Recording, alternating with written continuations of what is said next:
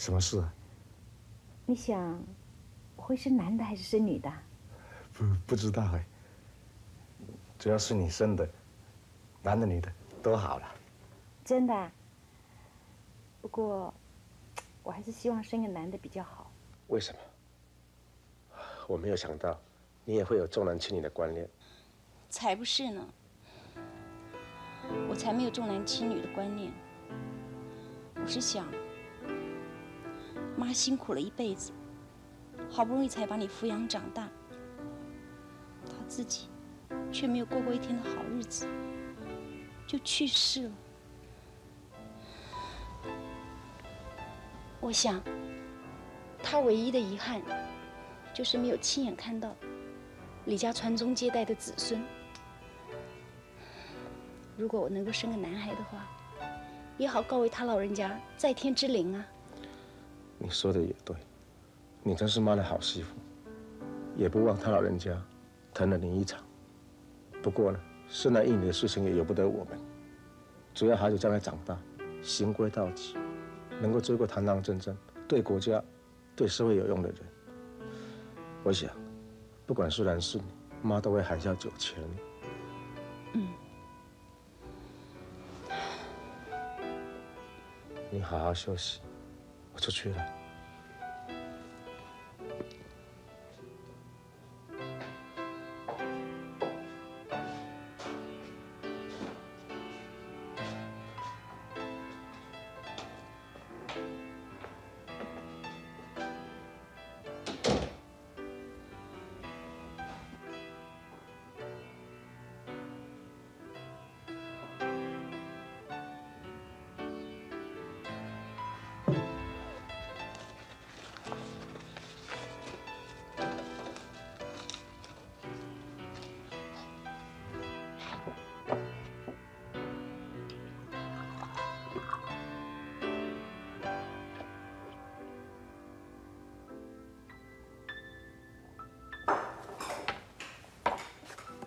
阿喜，哦，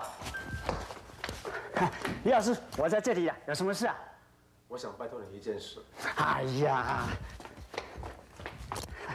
老叔啊，有什么事哦，你就尽管吩咐啦，还跟我客气什么啦？不，这件事情呢，本来就不是你分内的工作，我要麻烦你，当然一定要征得你的同意哦。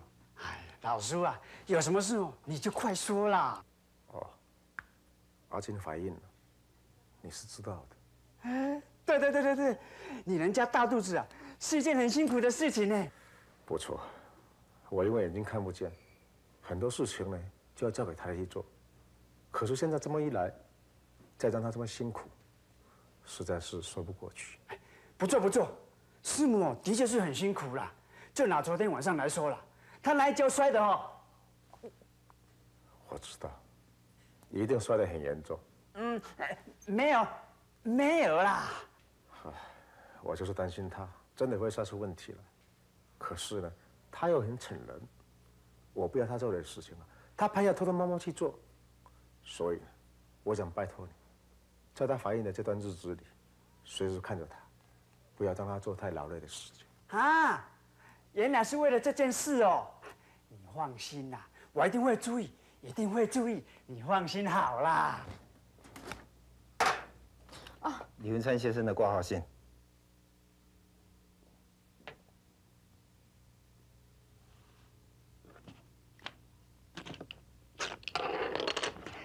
谢谢啊。阿金，叫你躺下来休息，你怎么又起来了呢？我没事了。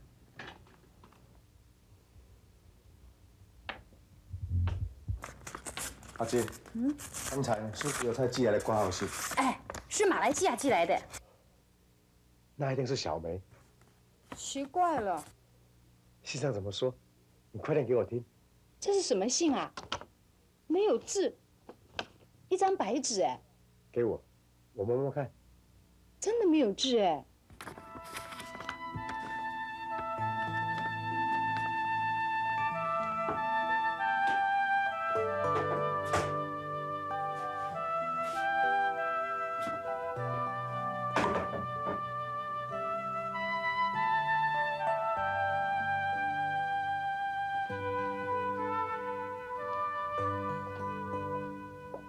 小梅县长怎么说啊？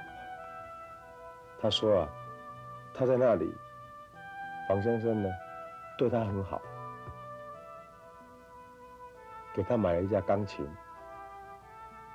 还请音乐老师教他弹钢琴。不过呢，他很想念台湾，想念你，想念我。想念这里的每一个人。他说呢，总有一天他会回来看我们。太好了！哎，文川，你赶快写封信给他，就说我们也很想念他啊，欢迎他回来看我们。嗯，不过等他回来啊，我们这里恐怕已经结束了。算了。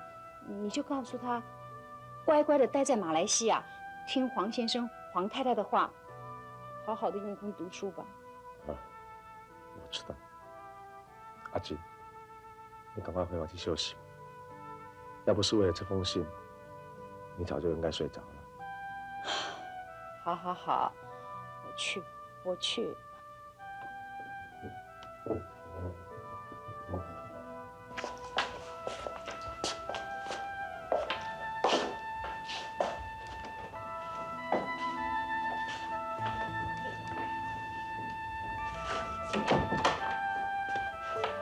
老师，谁呀？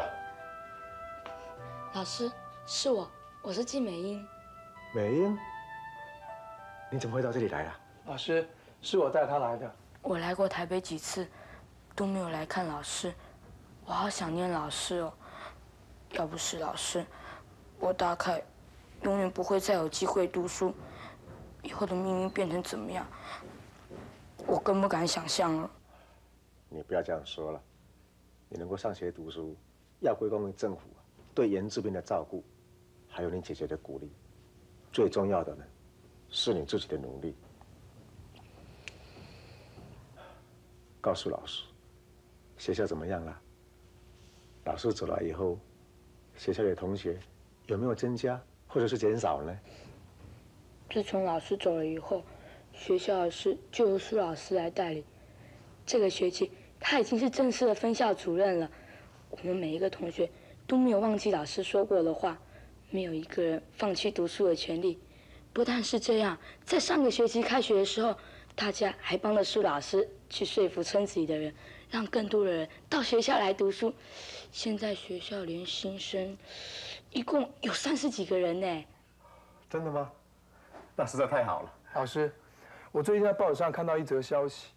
某一个山地学校呢，全校只有一个校长和一个学生，情况比起老师以前呢，在山上教美英他们的时候呢，还要惨。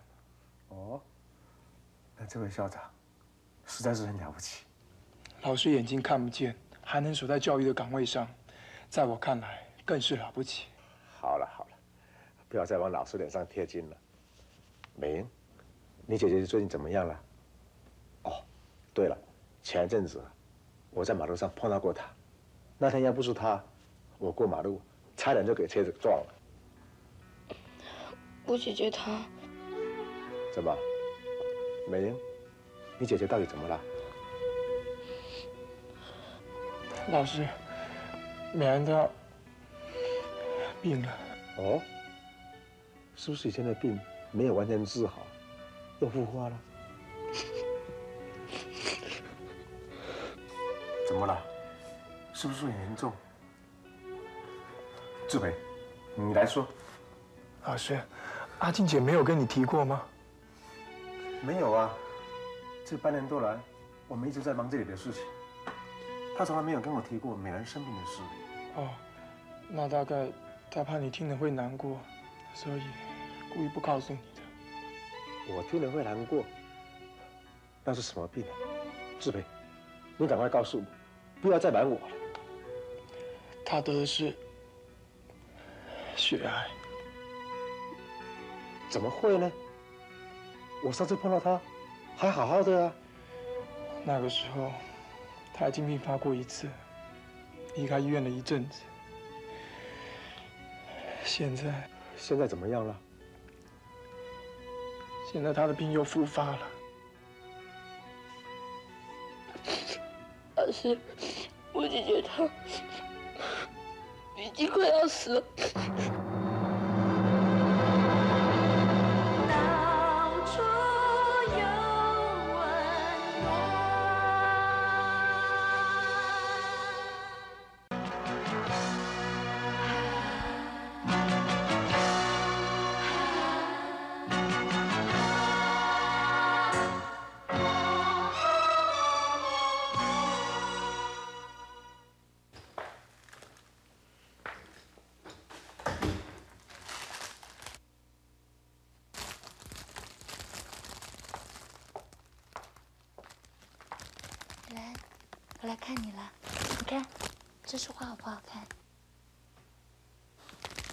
起来，好不好？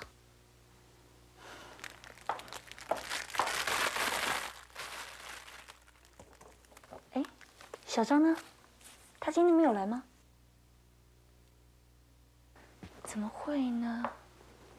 他明明跟我说，他今天下午没有课，会提前过来看你。怎么会到现在还没有来呢？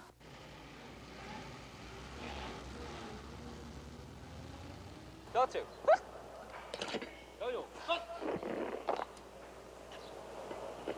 Table. Stop. Up. Oh.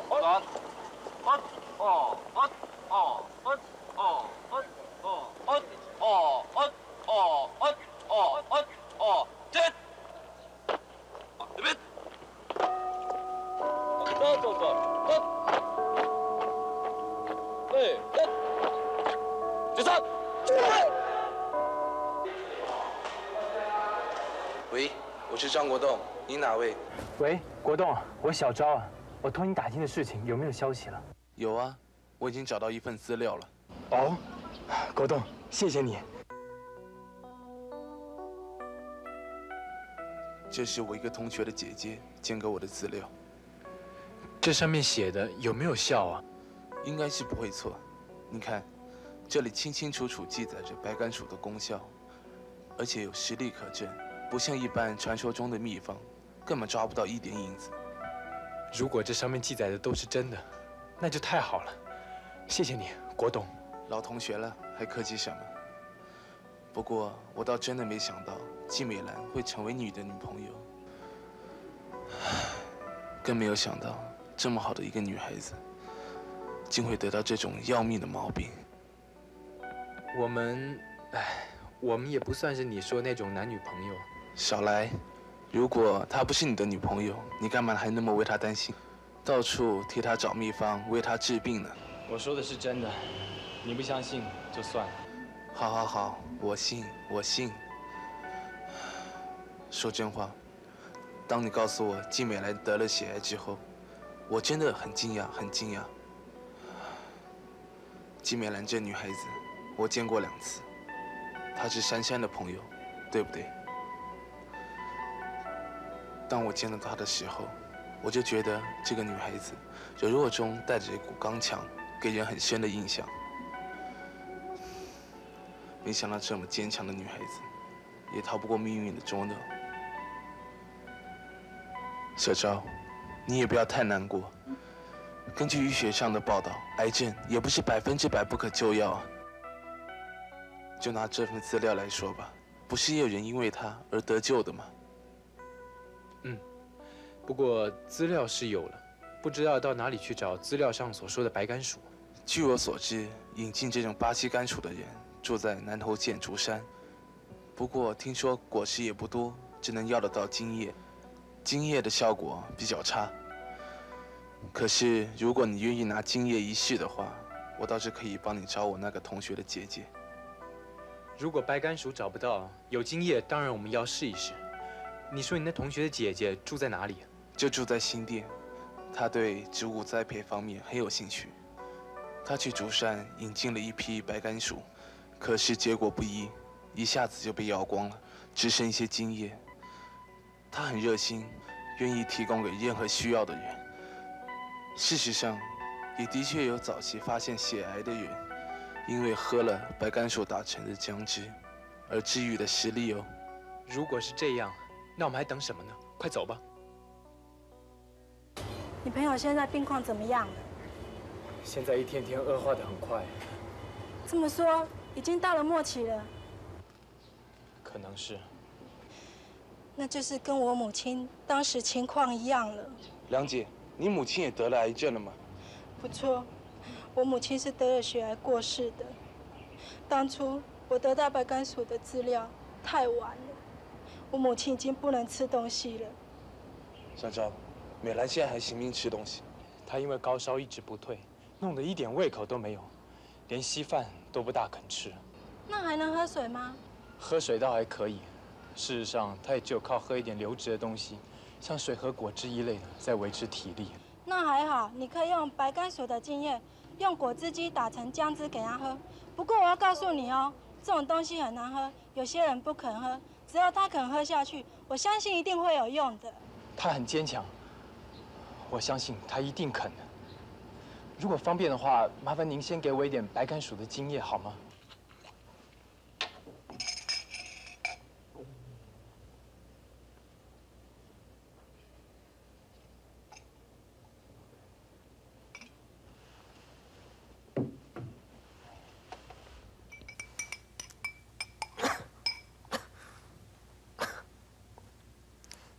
来，试试看好不好？什么啊？颜色好怕人啊！这是一种草药的汁，听说可以促进人体的造血功能，你喝喝看。医生说可 可以喝吗？可以，我告诉过曾大夫，你现在体内的白血球太少，所以抵抗力弱，受了感染才一直高烧不退。如果把这种草汁当水喝，增加你的白血球后，你的抵抗力就会增强，热度也会降下来。那时候你的身体很快就复原了。真的啊？当然是真的，你试试看。美兰，你就试一试嘛。是啊，你不要辜负小超的心意。姐，好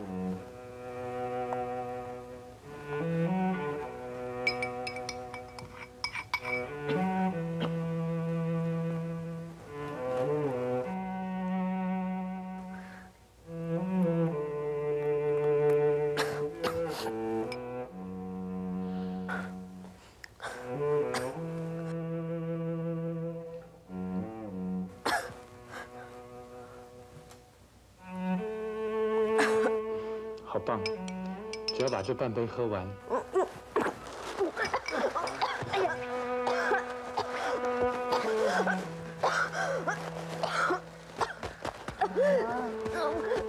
味道好难喝哦。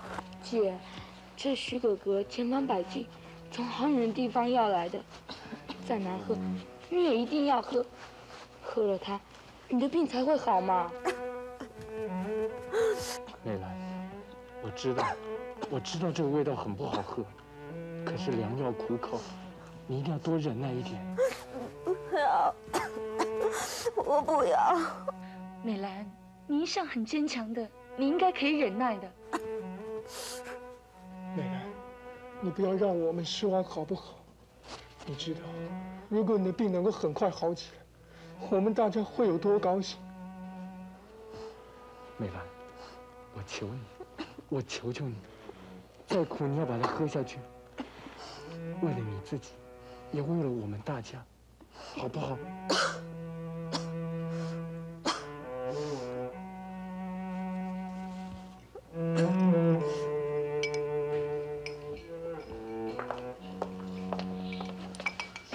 你们给他喝的什么东西？这到底是什么东西啊？是白杆鼠的精液打的姜汁啊！你你们简直乱来嘛！现在请你们通通给我退出去，退出去！你你的菜，赶快先把这口腔给清理干净。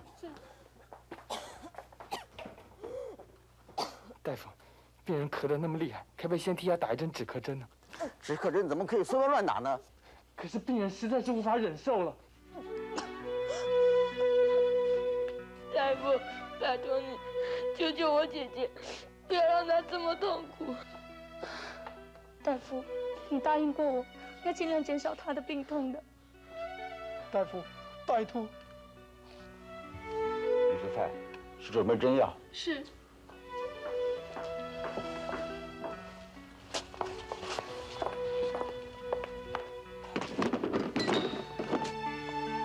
以后劝你们不要再这样乱来了。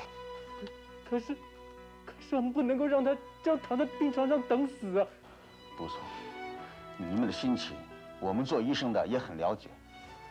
不过，病人现在的身体已经虚弱的一点抵抗力都没有。如果一面继续接受西药的治疗，一面服食这些草药，别说两种药物会不会相抵触，光是病人现在虚弱的身子，怎么经得起双重药力的攻错？你们想想，他怎么受得了？好了，我的话讲到此地为止。病人的情况会随时有变化，请你们随时注意，随时通知我。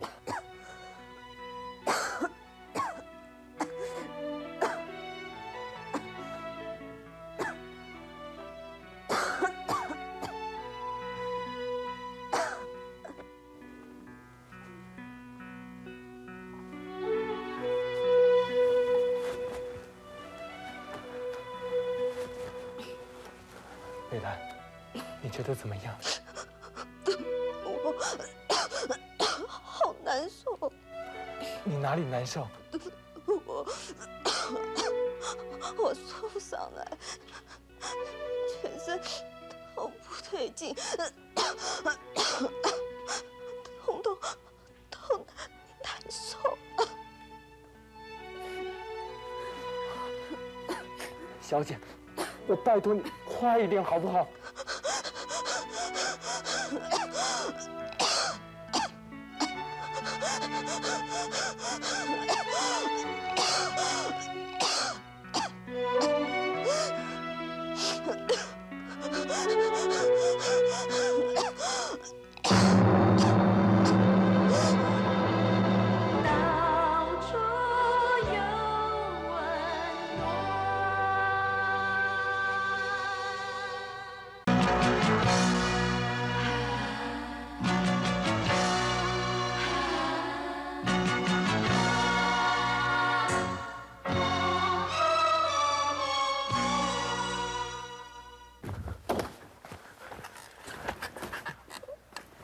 小赵，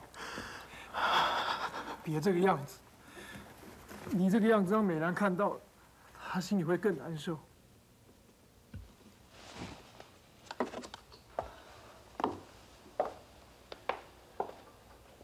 小赵，现在最苦的是美兰，我们总不能要她反过来安慰我们吧？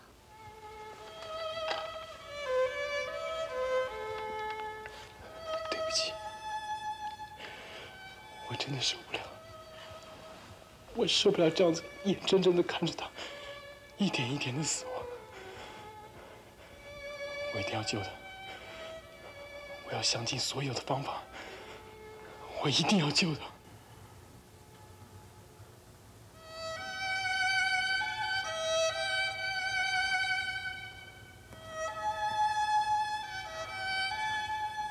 喂，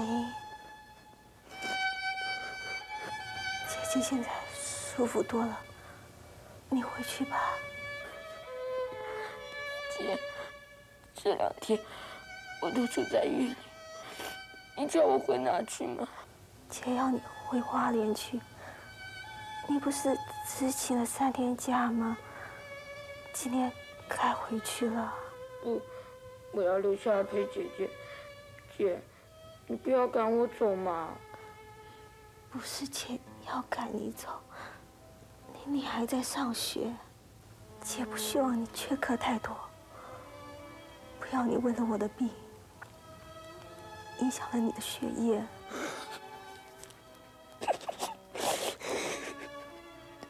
珊珊，珊珊，珊珊，美兰在叫了。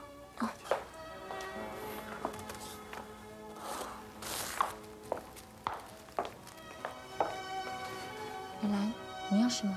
珊珊，麻烦你告诉小昭，请他送美英到车站，好吗？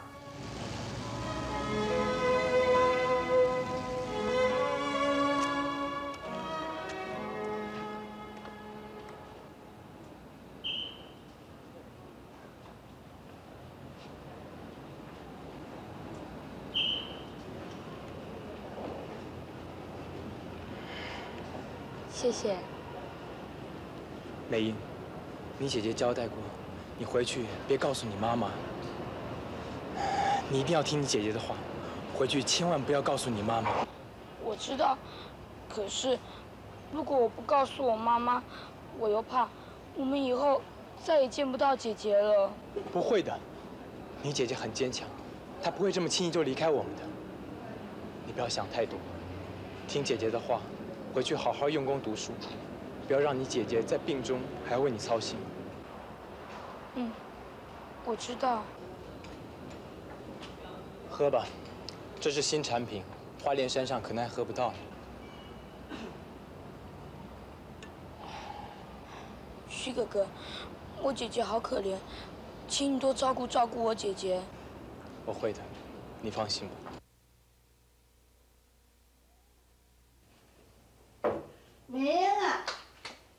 明啊，明，明啊，明。嗯，跑到哪里去呀、嗯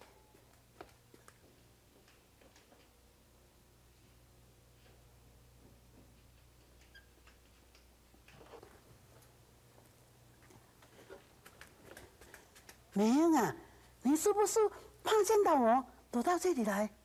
没有啊。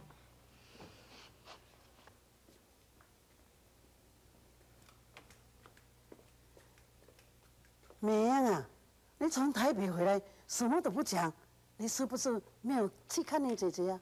我我我去看了，我老远跑一趟台北，怎么会不看姐姐就回来呢？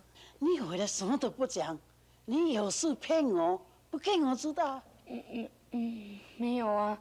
有就是有，我反对跟一个老高在一起了。你姐姐啊，不要对我讲老实话，你也、是一样，跟你姐姐一样骗我，对不对？没有了妈，我真的没有啦。那我问你，你有告诉你姐姐吗？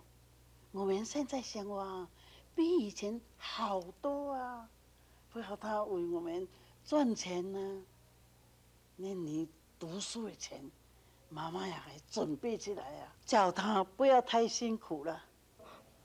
我说了。那你有没有告诉他，妈妈跟以前不一样哦，什么都不要，只要他身体好，我就高兴了。有，我都讲了。那他怎么说？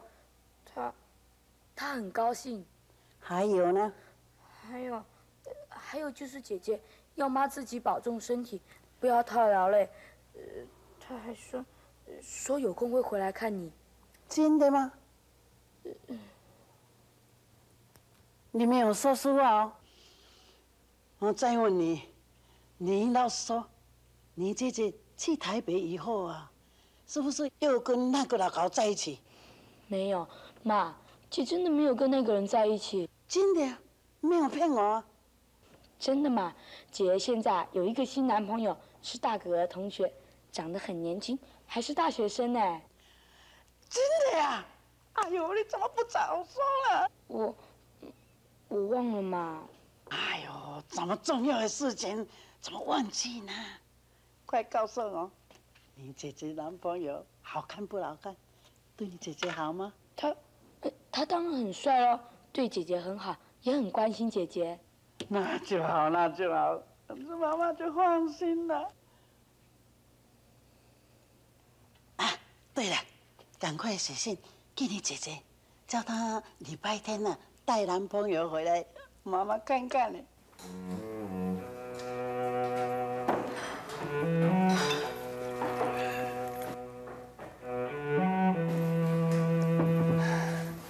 不要再喝了，你还要回医院去陪美兰，你忘了吗？我要喝，我要喝。我的心里好苦，你知道吗？嗯，我知道，我知道，都怪我，是我害了你。你为什么说这个话？因为是我促成你去爱美兰的。你因为爱上了她，所以才会这么痛苦。我没有，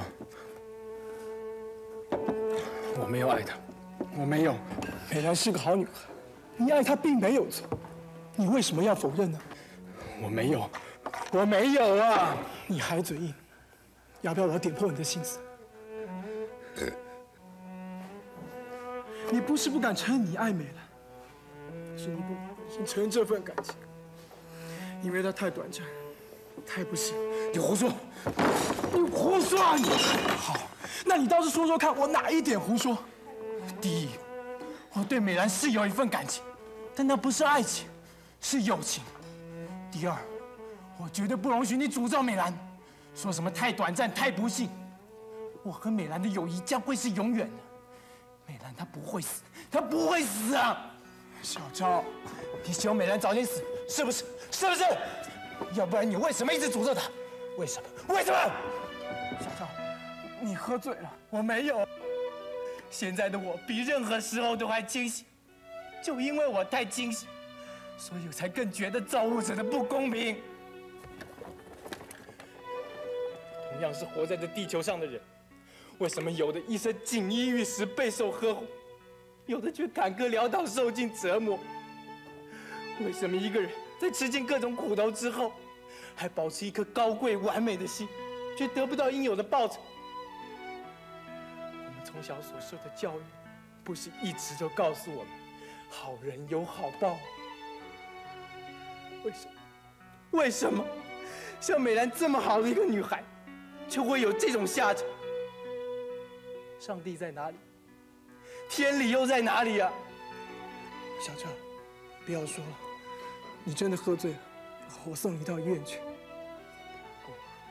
不，别管我，我要喝酒，我要喝，我要喝得烂醉烂醉，那样我脑子才不再会思考，我也才能接受眼前这这残酷的事实。就给我，就给我。不给。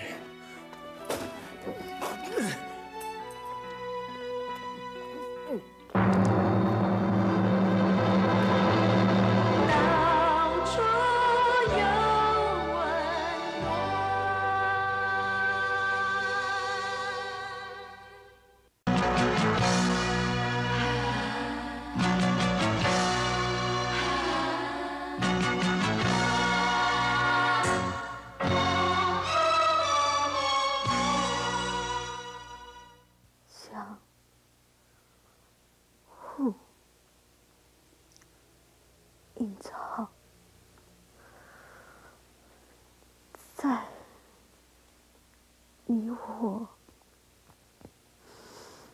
永恒的生命里，美兰，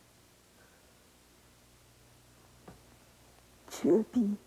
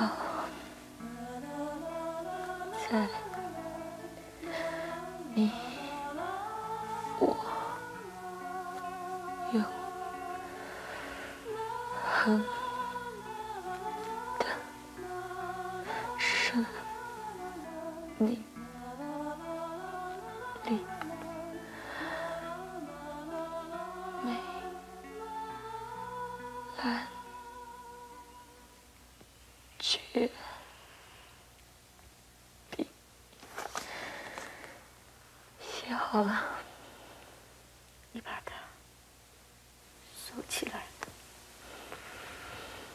我累了，我想歇一会儿。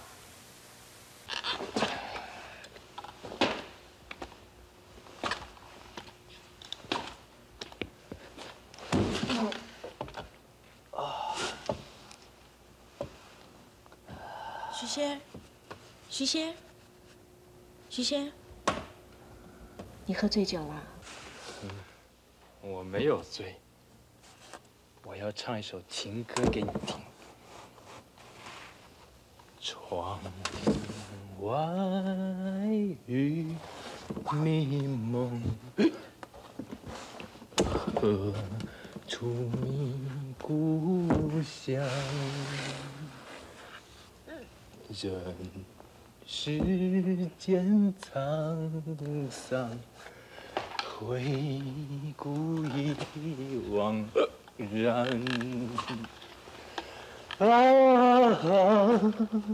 啊，不愿相思凉。啊，反倒相思长。夜相思几，魂梦两相依。啊，不愿相思两。小赵，我已经把美英送上火车了。怎么会送到这个时候？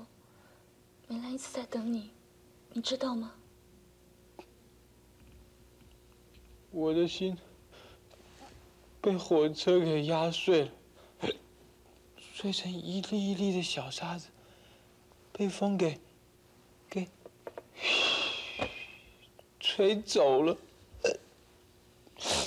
我到处我到处都找不到我的心。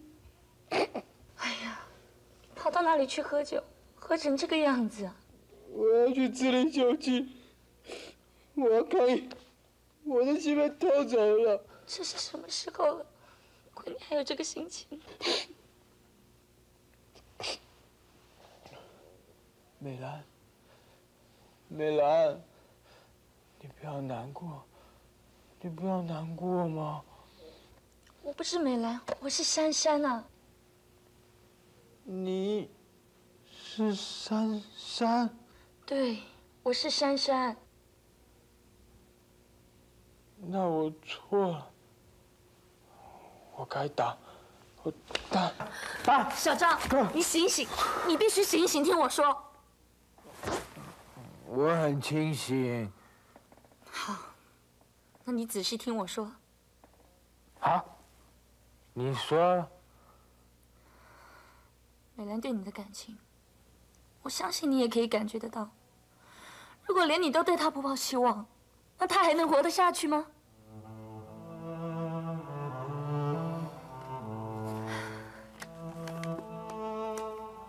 这是他刚才亲口念给我写的，虽然不是他自己的创作，却很切合他现在的心境。他念的时候。并没有说是给你的，不过我相信他一定希望你珍惜它。拿去吧。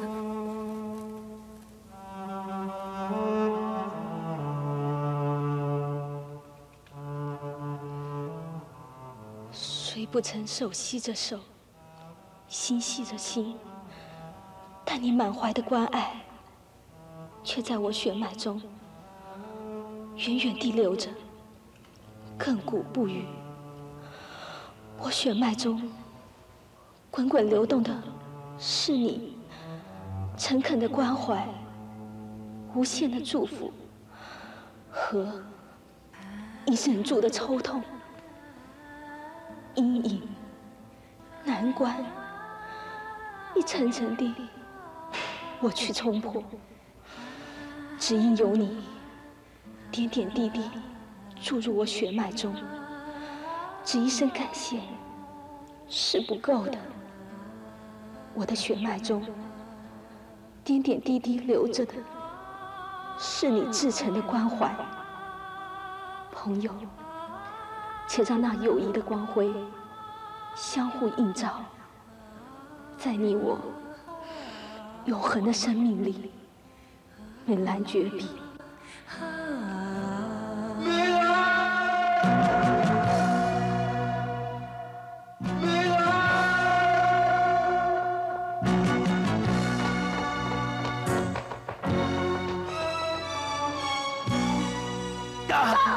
师长，不要哭啊！美兰死，我站起来也活不下去。傻瓜，谁说美兰死了？你不要骗我！校长，美兰真的活着，为你活着。美兰美兰，你不会死，你不会，我不要你死，我不要。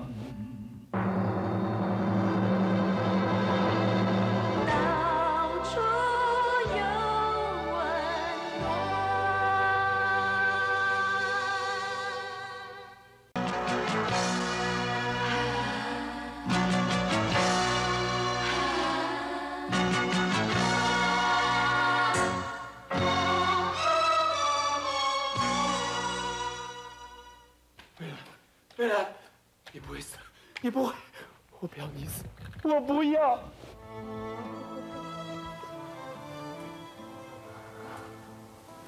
张昭，原谅我，我一直不敢承认，不只是因为它太短暂、太不幸，更因为我自己，我不配。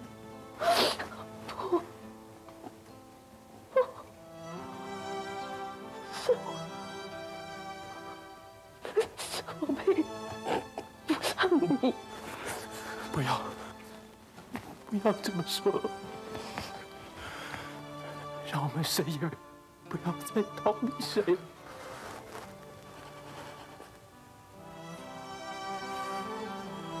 其实，我盼望的也不过就只是那一瞬。我从没要求过你给我你的一生。如果能开满栀子花的山坡上与你相遇，如果能深深的爱过一次，再别离，那么在长久的一生，不也就只是，就只是回首时那短短的一瞬。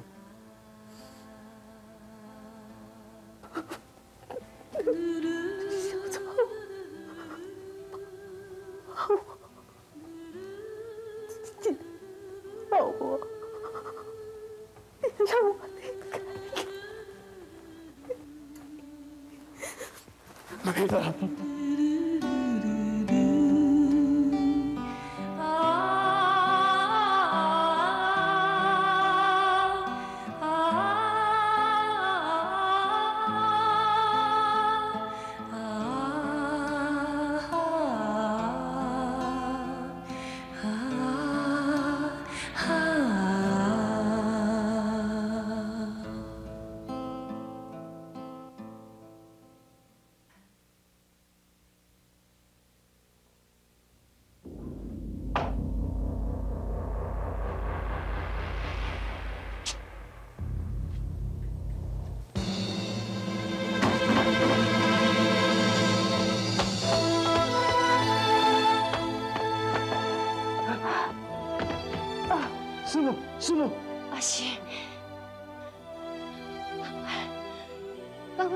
医院去。